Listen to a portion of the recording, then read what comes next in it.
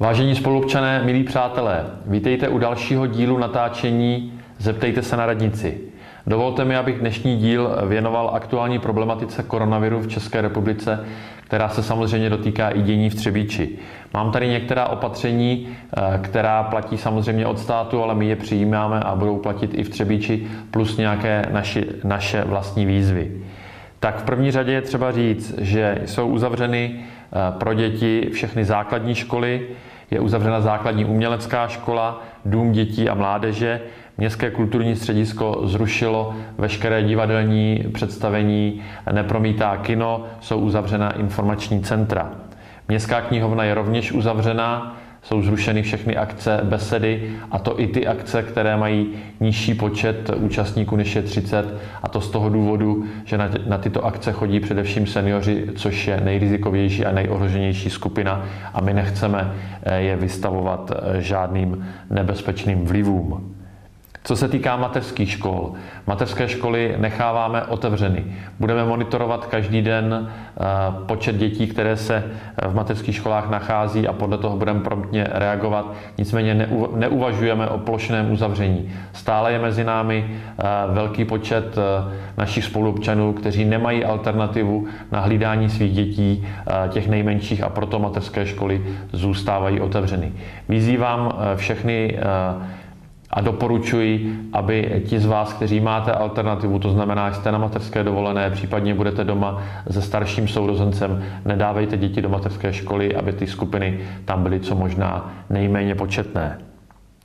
Od pondělí bude městská hromadná doprava v prázdninovém režimu. To znamená, eh, nebudou tak silné spoje v dopoledních hodinách, které využívali žáci a studenti. Jsou omezeny svatby, takovým způsobem, že to reaguje na nouzový stav, to znamená 30 eh, osob je maximální počet, eh, k tomu je potřeba odečíst ještě pět osob za městský úřad, kteří svatbu administrují, to znamená všem snoubencům byla dána informace o tom, že svatby eh, s vyšším než počtem účastníků než je 25 nebudou realizovány. Odložili jsme termíny na vítání našich nejmenších vítání občánků.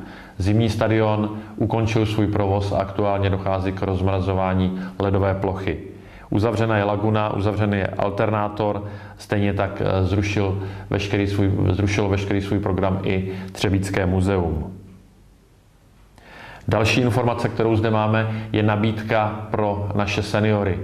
Eh, seniori, kteří mají problém si sami nakoupit eh, a v dnešní době není doporučováno chodit do eh, prostor, kde se nachází větší množství lidí. Nabízíme těmto seniorům, aby nás kontaktovali a nákup jim zajistíme.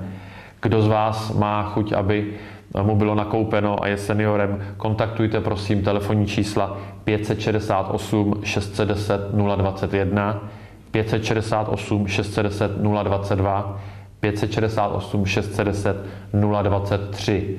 V dopoledních hodinách prosím nahlašte svoji potřebu nákupu, nahlašte, co by vám mělo být koupeno a v odpoledních hodinách vám nákup bude realizován a bude vám doručen přímo domů. Zároveň tím vyzýváme všechny naše spolupčany, kteří by nám chtěli pomoci a chtěli by se stát dobrovolníky při těch nákupech a roznosech.